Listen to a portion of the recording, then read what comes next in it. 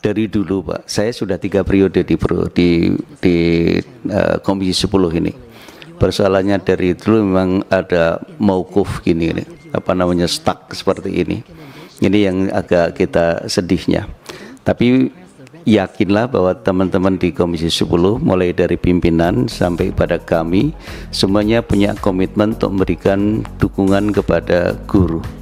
Intinya adalah panjenengan semua ini, Bapak dan Ibu semua ini adalah orang yang bukan mencari pekerjaan, tapi adalah orang yang sudah bekerja dan sudah lama lagi. Dan kemudian sebutannya guru. Sebutannya sama tapi perlakuannya berbeda. Ini yang kemudian mendapat perhatian dari kita semuanya untuk memberikan uh, mencarikan jalan keluar buat Bapak Ibu sekalian. Cuma jujur seperti yang dikatakan Pak Rozi tadi memang iya. Karena ini eh, pemerintahan ini ada eksekutif, ada legislatif. Kita ini batasannya adalah legislatif, bukan sebagai eh, eh, pihak yang melakukan eh, eksekusi. Kita batasannya adalah pada undang-undang, pada kebijakan. Di bawah undang, undang-undang itu sudah ranahnya daripada uh, pemerintah. Peraturan pemerintah misalnya kemudian lalu di bawahnya apalagi di bawahnya sampai peraturan dirjen dan sebagainya itu tangan kita nggak nyampe ke situ. Nah karena itu lagi-lagi menjadi masalah adalah karena kita pada tingkat regulasi. Memang jujur Kang kita memang wah, posisinya adalah di, di tingkat regulasi bukan di tingkat eksekusi. Yang kedua adalah dilalah ini apa bahasa Inggrisnya ini. Itu eh, yang menangani pendidikan itu adalah ada kalau dari sisi kebijakan kependidikannya adalah di Komisi 10 tapi yang ngatur tentang kepegawaiannya adalah di Kementerian Menpan RB yang itu bukan mitranya Komisi 10 yang ketiga adalah yang ngatur duitnya itu ada di uh, Kementerian Keuangan. Yang ngatur lebih teknisnya lagi adalah di Kementerian Pemerintah di daerah.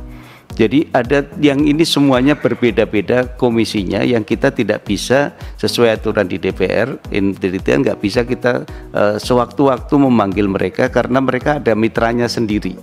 Ini yang jadi masalah. Kalau di tingkat sini sih sudah berkali-kali kita ingin mengatakan misalnya karena tadi itu Bapak dan Ibu sekalian bukan pencari kerja, tapi seorang orang sudah kerja, saatnya kemudian pemerintah yang memberikan apresiasi kepada uh, para guru semuanya. Dan semua kesadaran tentang guru itu semua tahu bahwa guru itu dari delapan uh, apa namanya uh, standar itu guru adalah yang paling utama. Itu semua sudah tahu itu dan itu semua uh, itu sebabnya kita memberikan dukungan kepada ibu sekalian. Karena tadi itu bukan pencari kerja kita dulu mengusulkan tidak perlu ada tes lagi. Kalau perluannya sekedar administratif saja. Itu pun sudah oke. Okay.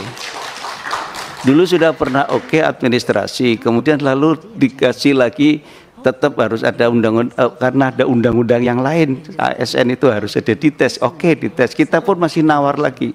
Oke okay, dites tapi performa aja. Kemudian juga sampai ada bimbel juga. Seingat saya ketua ya. Dulu ada bimbelnya. Kita minta juga ada apa apa sih istilah kisi-kisi.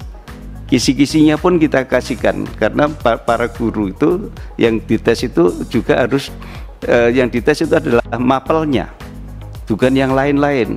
Karena ini mapelnya meskipun ibu-ibu sekalian sudah lupa karena sudah 10 tahun 15 tahun berbanding dengan adik-adik kita yang postgraduate itu mungkin akan bisa terus tapi karena ibu sekalian sudah melakukan itu bertahun-tahun dites dengan mereka pun habis pasti ibu-ibu juga yang menang.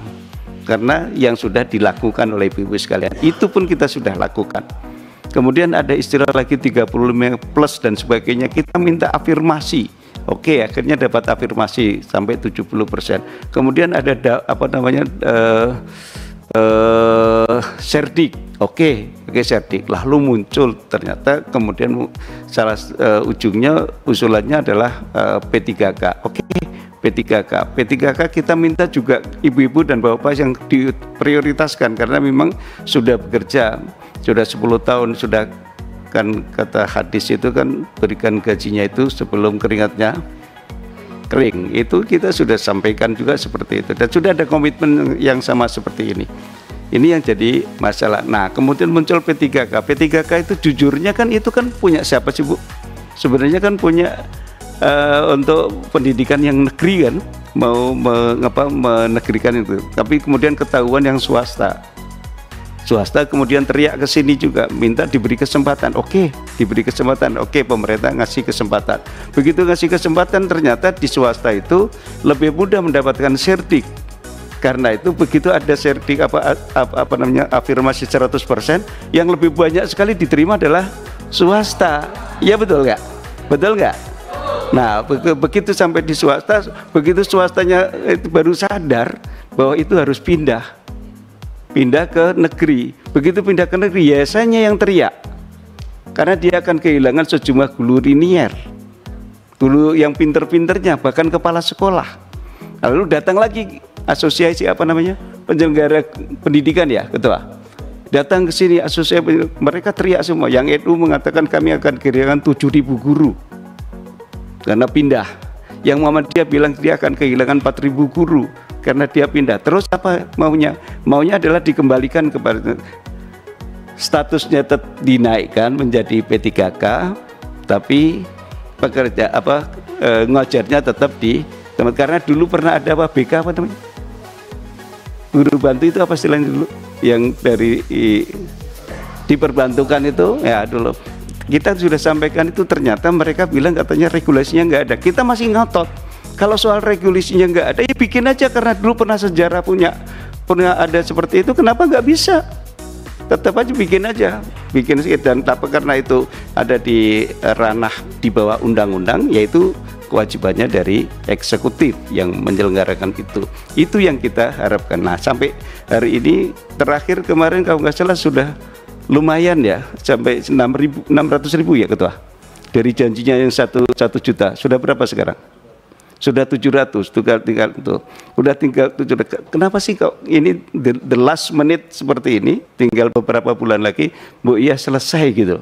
Selesai nah tapi ini harus ditarik betul oleh masuk ke, ke, uh, kepada pimpinan karena antar uh, komisi kemudian antar kementerian itu memang harus pimpinan yang menyelesaikan itu. Apa pun kita ingin sampaikan nanti yang di, uh, di aspirasi panjenengan semuanya ini pasti akan ditangkap kemudian nanti akan kita sampaikan kepada pemerintah moga-moga ini selesai ini belum selesai muncul lagi betul kata yang muncul lagi apa tahu nggak yaitu tenaga kependidikan Bu.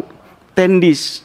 Saya mengatakan kok guru diperhatikan terus udah sampai 600 ribu udah lubangnya. Kami yang tendis kok enggak. Kami ini datang ke sekolahan sebelum bu guru datang, kemudian kami pulang setelah bu kepala sekolah pulang. Tapi kami yang sudah 10-20 tahun itu enggak mendapatkan perhatian apa-apa, minta slot untuk tenaga kependidikan. Ya, kita mengatakan malayatimul wajib ila bi wajib. Kalau guru itu wajib penting sekali, tapi guru nggak bisa kerja tanpa ada tendis, maka tendis juga wajib eh, apa namanya diberikan kesempatan untuk bisa dinaikkan menjadi P3K. Ini sampai tingkat ini pun masih eh, kita itu ikut memberikan perhatian ibu-ibu dan segala. Nah karena itu moga-moga ini selamat berpuasa, moga-moga suara berpuasa ini didengar dan moga-moga ini membawa berkah dan yakinlah pimpinan yang di depan ini, ini yang sebelah sana itu mantan kepala sekolah Pak Fikri ini, mantan kepala sekolah SMK, jadi paham betul tentang ke apa namanya suka dukanya